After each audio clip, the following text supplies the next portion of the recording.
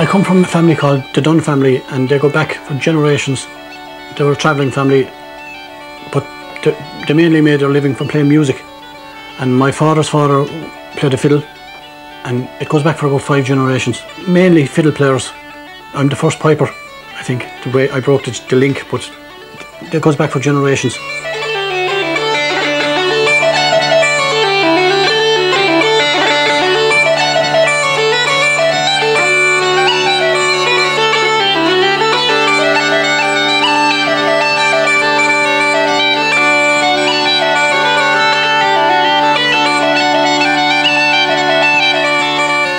Times are very, very different than they were in the 40s and 50s and 60s and 70s. And my uncles and my father, they became very, very popular because as entertainers in small villages and at fairs and for house dances and for gatherings of all different types, football matches, they would have been the, probably the only entertainment around at the time. There was no radios, no televisions, nothing like that.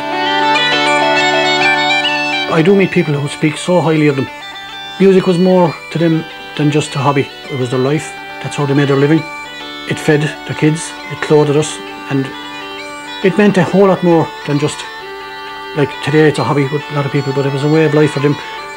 And my three uncles, Joseph, Michael, and Christy, they had very, very bad eyesight.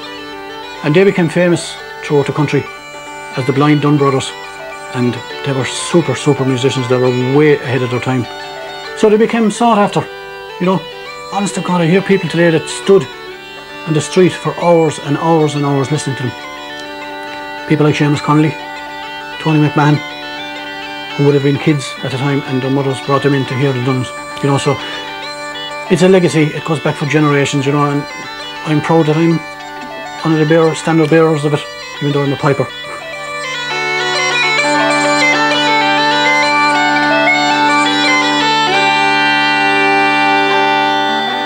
Is cuiine an chéadúir gur choil mé Michael agus Christy Dunn.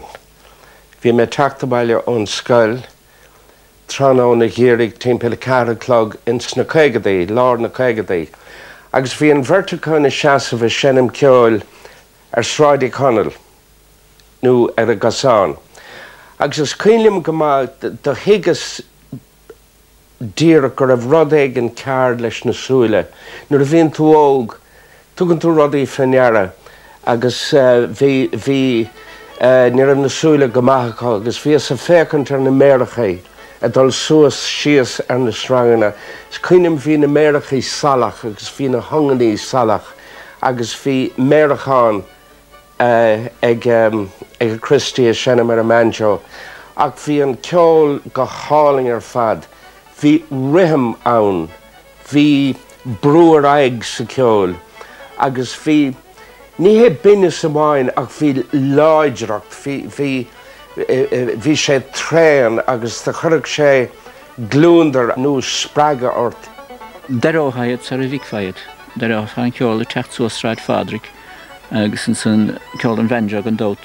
Bhí stíl sais láidrige ar an menjo agus dhearach sé tínéir. thug fe sí san san timppla chuúnistig fan verte chun fer ard agus dí an go tribláir go lena rairc. Ach um, bhí sé seinint ar menjoog san ferile go húla neclis uh, anna hiún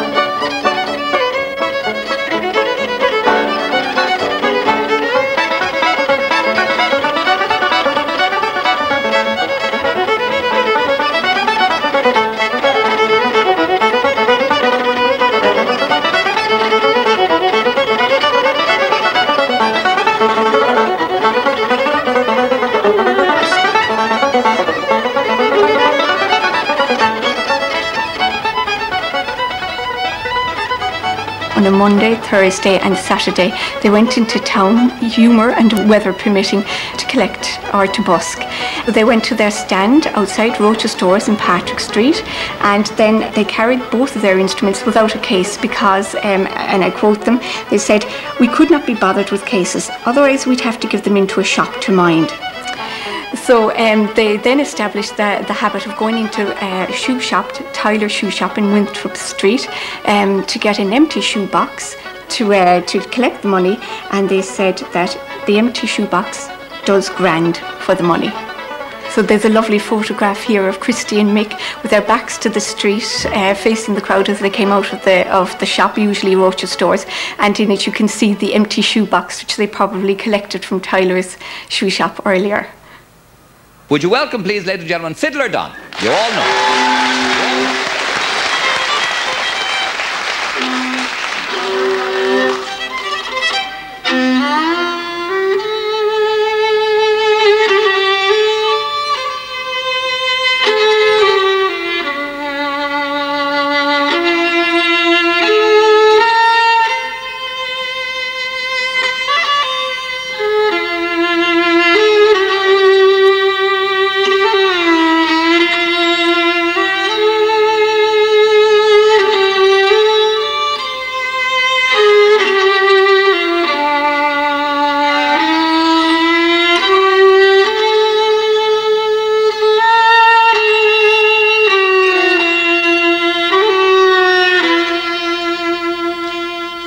Cwynam cwpl o blion i ag sy'n rhaid fi'n hen tastal.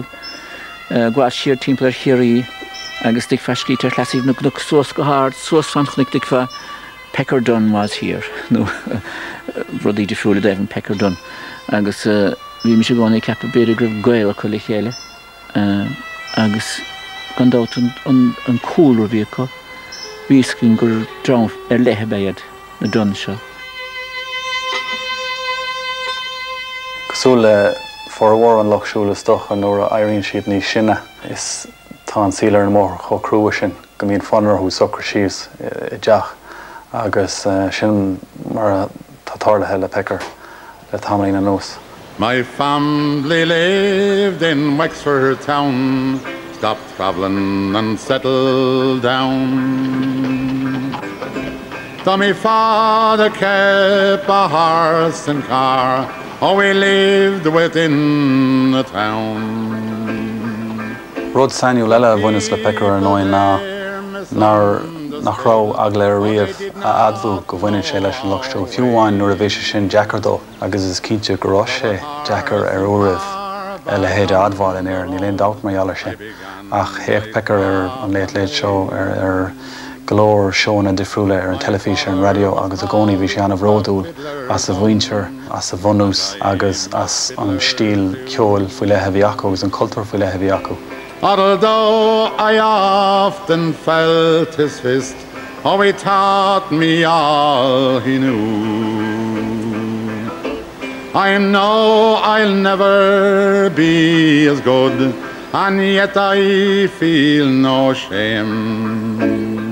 Lawer pecker mé ar an hathe a bhí ag tarlair an móthir an brú fásta a bhí ar an lochsúil an síle bhí acu agus an cultúr bhí acu a régant. agus nírá sé sáid óráin a chuma maiall rudí rudí leabh agus bog